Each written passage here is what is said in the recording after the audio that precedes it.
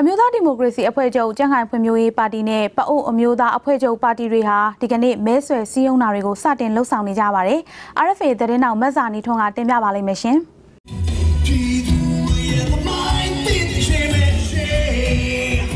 လာမယ့်နိုဝင်ဘာလ10ရက်နေ့ရွေးကောက်ပွဲအတွက်အမျိုးသားဒီမိုကရေစီအဖွဲ့ချုပ်ပြည်ခိုင်ဖြိုးနဲ့ပအို့အမျိုးသားအဖွဲ့ချုပ်ပါတီတွေဟာမန္တလေးမြစ်ကြီးနားနဲ့တောင်ကြီးမြို့တွေမှာမဲဆွယ်စည်းရုံးနေကြတာဖြစ်ပါတယ် ရှမ်းပြည်နယ်တောင်ကြီးမြို့မှာပေါ့အမျိုးသားအဖွဲ့ချုပ် PNO ပါတီကဒီကနေ့မဲအောင်နိုင်ရေးဆိုင်ဘုတ်တင်လိုက်ပါတယ်ကျွန်တော်တို့ကတော့ဒီ9ရက်နေ့မှာစပြီးတော့မှဟို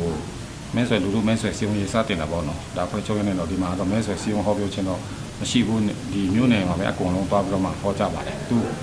အဲသူ့နယ်နဲ့သူ့နယ်ပေါ့နော်ဒီမှာကျတော့ဟိုဆိုင်ဘုတ်တက်တက်ပဲကျွန်တော်တို့ဟိုရေကောက်ပိုင်းအွန်လိုင်းရေးဆိုင်ဘုတ်ဒီလူတော်ကိုယ်စားလှယ်တွေရဲ့ဓာတ်ပုံများသူတို့တွေလုံဆောင်ခြင်းများဟော ရုံးစင်းမှာကတ်ထားတာပေါ့နော်ဒီဟောပြောပွဲကတော့မပါပါဘူးတောင်ကြီးမြို့မှာပြည်ခိုင်မျိုးပါတီကလည်းမဲဆွယ်စည်းရုံးရေးဆင်းမှုအစီအစဉ်တွေရေးဆွဲနေတော့ဖြစ်တဲ့အတွက်လာမယ့်အပတ်ကစပြီးစည်းရုံးရေးဆင်းနိုင်မယ်လို့ပြောပါတယ်ကျွန်တော်ဒီမဲဆွယ်စည်းရုံးရေးကာလမရောက်ခင်မှာ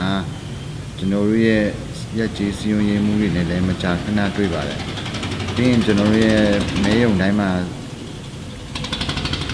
တောင်းကြည့်ပေးမဲ့ မေယုံကိုယ်စားလှယ်တွေအခုကိုယ်စားလှယ်တွေဝေါ်လန်တီယာအဖွဲ့နဲ့လည်းကျွန်တော်တို့အရင်တစ်ပတ်ကပဲကျွန်တော်တို့ဒီ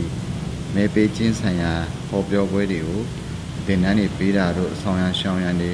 ရွေးကောက်ပွဲဥပဒေနဲ့ပတ်သက်ပြီးတော့ဤဥပဒေနဲ့ပတ်သက်ပြီးတော့ဘုဒ္ဓတပညာပေးတာတွေကျွန်တော်တို့ဒါတွေ့ဆုံဆောင်ရွက်ပြီးသားဖြစ်ပါတယ်ပြည်သူလူထုနေတဲ့တွေဟိုတော့ကျွန်တော်စီယုံဟောပြောဖို့စီယုံဆင်ပေါ်တော့ကျွန်တော်တို့ဒါအခုအသေးစိတ် plan ရေးဆွဲတော့မှရှိပါတယ်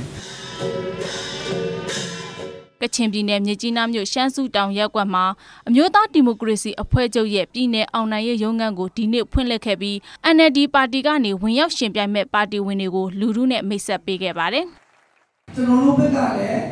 ဇောကိုထူစားပေးမယ်။ပူစလေလောင်းတွေလည်းဒီနလဆိုတဲ့ကာလတော့ဒီမှာလူထုကြောင်းစင်ပြီးဒီလိုမှုယူပြီးတော့အဆောင်ဒီမဲအောင်နိုင်ရေးကိစ္စ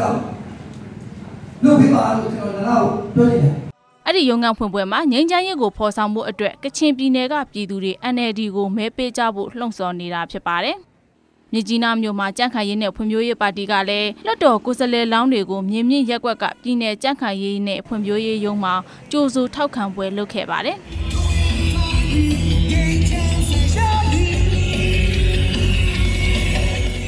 မနေ့ကမန္တလေးမြို့မှာပြည်သူကိုမိတ်ဆက်တဲ့အနေနဲ့ NLD အမှတ်သားပါတဲ့ခွတ်တောင်ကျဲပြူအလှပြရင်ကိုလှည့်လည်ပြသခဲ့ပါတယ်။အလှပြရင်နဲ့အတူပါတီဝင်တွေက NLD ပါတီကိုမဲပေးကြဖို့လှုံ့ဆော်ရင်းမန္တလေးဈေးကြိုကနေမဟာမြတ်မုနီဖျားမန္တလေးတောင်ကြီးအထိမြို့တစ်ပတ်လှည့်လည်ခဲ့ကြတာပါ